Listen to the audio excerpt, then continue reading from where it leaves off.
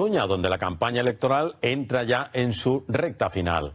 Allí los líderes nacionales apoyan a los candidatos con la vista puesta ya en los posibles pactos para investir al nuevo presidente, José Gómez.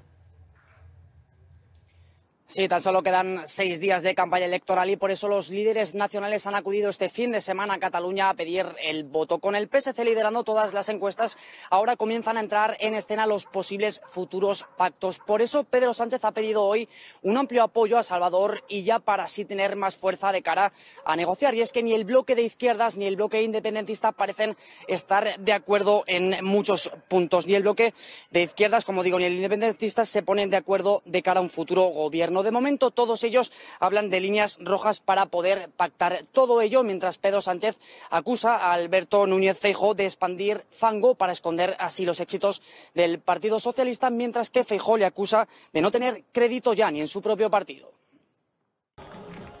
Los líderes nacionales se vuelcan en la campaña catalana y entre gobierno y oposición el cruce de palabras más repetido es fango, fango o bulos. bulos. Porque es de lo que se acusan mutuamente, de enfangar la política y de generar bulos. Tratan de esparcir todo este fango para que no hablemos de los éxitos. Hablan de fango, cuando realmente ellos se mueven como nadie en el lodazal. Más allá de eso, los candidatos a presidir la Generalitat siguen en la carrera por arañar votos. El PSC dice que está en medio para abrir una nueva etapa. Una Catalunya que ha d'obrir una nova etapa. Després de 10 anys perduts. Pero no termina de aclarar con quién va a pactar si gana. Los comunes se lo reprochan. Ara ha obert la porta a Junts, ara diu que no, però en realitat el que ens està dient és que sí. Desde Junts no se fían. Que quan se'ls ha donat la responsabilitat de governar Barcelona, l'han enfonsat. Y en Esquerra pelean por el voto independentista. Vull continuar sent president de Catalunya per aconseguir un referèndum reconegut internacionalment. Desde Vox cargan contra el PP por haber pedido concentrar el voto en su partido. Igual deberían ser ellos los que se retiren, que es lo que nos andan exigiendo en todos lados. Los populares dicen que estas elecciones solo van de lo que le interesa a Sánchez. Partido Popular no vende a sus votantes como ella ni vende a su país como Sánchez. Piden el voto, dicen, para dar la vuelta a Cataluña. Sánchez estaba en el primero de sus cinco días de reflexión, en los que amagó con dimitir. Hoy el presidente está de nuevo en la carretera para participar en la campaña electoral catalana. Entre un momento y el otro, Sánchez ha tomado la decisión de lanzar una ofensiva contra la oposición, contra una parte del Poder Judicial y contra un sector de los medios de comunicación. Con ese mensaje, el presidente trata ahora de movilizar a las bases socialistas para acometer las elecciones catalanas del 12 de mayo y las europeas del 9 de junio. Esta tarde, ovacionado por los suyos, Sánchez se ha activado en campaña. Ha protagonizado un acto para apoyar a su candidato Salvador Illa en San Boi de Llobregat, en la provincia de Barcelona.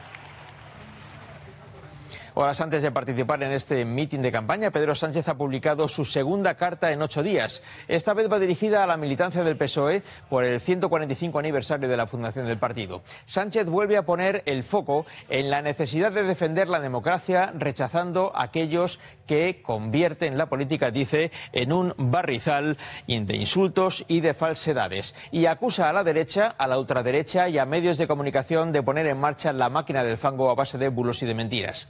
Hace unos minutos, en un acto de campaña de su candidato a las elecciones en Cataluña, Sánchez ha intentado venirse arriba después de la depresión que provocó en su partido ese limbo político de cinco días en los que sumió al país. Y lo ha hecho elevando y mucho el tono populista de sus acusaciones, hablando de los de arriba y de los de abajo, como hacía Podemos en sus primeros tiempos.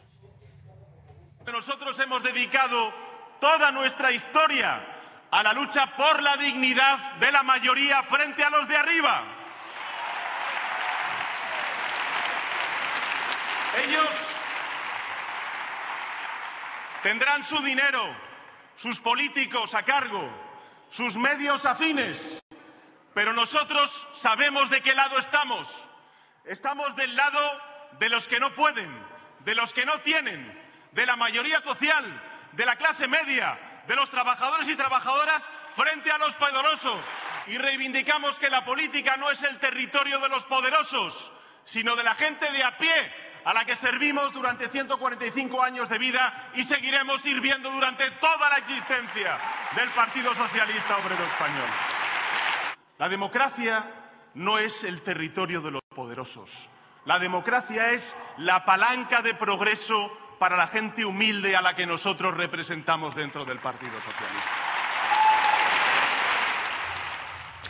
Pedro Sánchez trata así de relanzar su liderazgo y trata también de acallar las dudas sobre su futuro político. Lo ha hecho con ese tinte populista contra los de arriba, contra los poderosos, contra los medios de comunicación, contra los jueces, pero la militancia socialista también ha hecho suyo el grito que popularizó Podemos en sus antiguos tiempos de esplendor. Si se puede. Claro que sí. Y lo vamos a lograr el próximo 2 de mayo. Mirad. Mirad. Pedro Sánchez ha hablado durante unos 20 minutos y buena parte de ellos los ha utilizado para cargar contra la oposición. Se ha acusado de atacar a la democracia y otra vez ha sacado la máquina del fango. Paula Silvestre. Pues sí, el presidente se ha estrenado a los seis días de campaña y lo ha hecho aquí en este pabellón de San Boi de Llobregat en el Cinturón Rojo de Barcelona. Ha sido su primera aparición oficial tras anunciar que se quedaba en el cargo. Eh, aclamado por los suyos, ha dejado claro que su objetivo es ahora estar implicado de lleno en la campaña catalana. Asegura que quiere llevar el socialismo a la Generalitat. ¿Cómo va a hacerlo? Plantando cara, dice, a la máquina del fango de PP y Vox respaldado por los suyos, por la vicepresidenta primera y por su candidato a la Generalitat. Gracias, Pedro. Sánchez vuelve a pronunciarse tras anunciar su continuidad al frente del gobierno. Claro que merece la pena. Y lo hace lanzando los mismos mensajes. Estos cinco días que nunca olvidaré, frente a los insultos, las descalificaciones. Aunque en el mitin del presidente del gobierno lo que más se ha repetido ha sido el nuevo mantra socialista. Regeneración, ganemos al fango que lo trata de anegar todo, máquina del fango de Feijó y de Abascal. Sánchez vuelve a cargar contra lo que considera medios de desinformación, pseudomedios de comunicación y sobre todo contra la oposición. Atacan la democracia porque no acatan el resultado de las urnas. Desde Cataluña insisten que el PP está usando una política sucia. Porque si jugaran limpio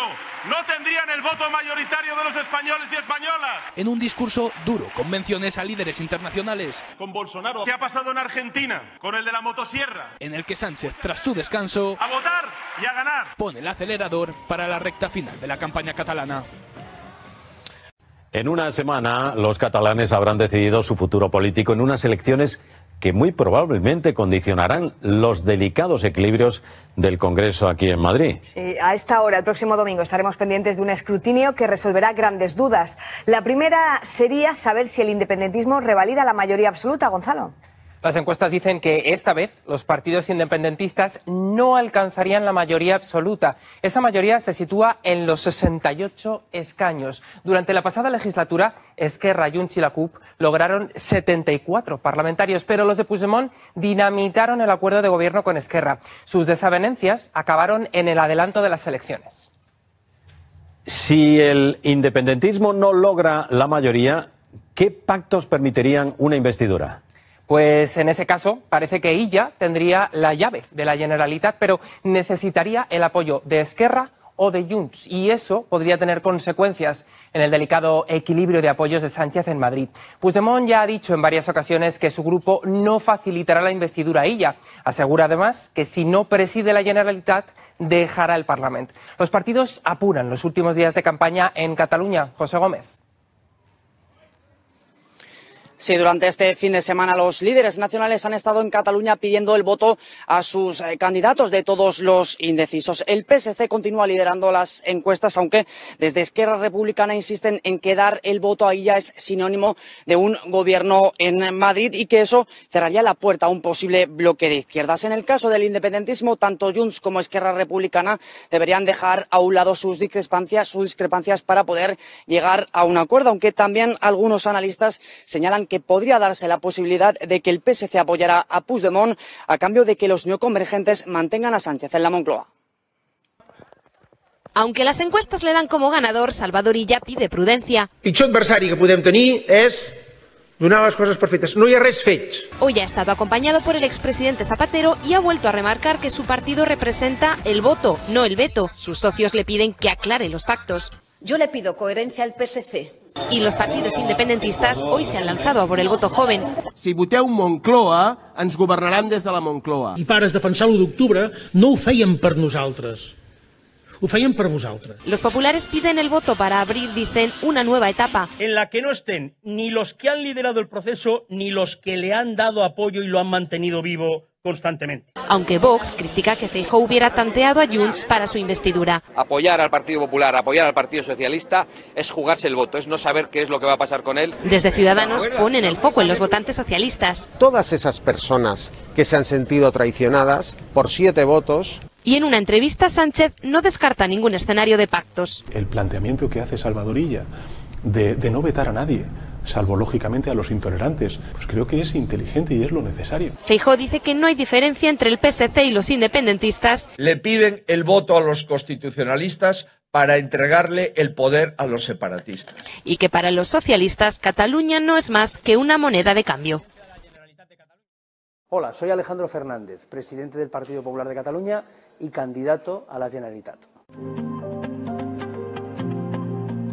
Si atendemos a lo que señalan las propias encuestas del CIS catalán, el Centro de Estudios de Opinión, hay ahora mismo tres temas que preocupan muchísimo. En primer lugar es la gestión del agua, la posibilidad de que este verano los catalanes abran el grifo y no salga agua, que la desastrosa gestión del gobierno de Cataluña eh, ha convertido en posible ese escenario absolutamente catastrófico para una sociedad desarrollada. Hay una segunda cuestión que preocupa muchísimo, que es la inseguridad ciudadana. Los datos de seguridad ciudadana en Cataluña son absolutamente alarmantes y eh, el Gobierno de Cataluña no está haciendo nada para remediarlo. Y hay una tercera cuestión que preocupa mucho, que es la situación política en general, que afecta a la economía, que afecta a la estabilidad política y que afecta a las relaciones entre catalanes y entre catalanes y el resto de los españoles. Es eh, imprescindible bajar impuestos, suprimiendo el impuesto de sucesiones, suprimiendo el impuesto de patrimonio y reduciendo todos los tramos autonómicos del impuesto de la renta de las personas eh, físicas. En segundo lugar, hay que solucionar a través de las infraestructuras necesarias la cuestión del agua. Que haya agua para todos, que se abra el grifo y tengas la garantía de que va a salir agua y que además sectores estratégicos como el turismo, la agricultura, la ganadería o la industria no tengan que sufrir restricciones que ponen en peligro eh, su sostenibilidad. Y en tercer lugar, la seguridad ciudadana. El separatismo pretende expulsar a la Guardia Civil y a la Policía Nacional de Cataluña. Y lo van a intentar. Y el Partido Socialista siempre les ha dicho que sí a todo.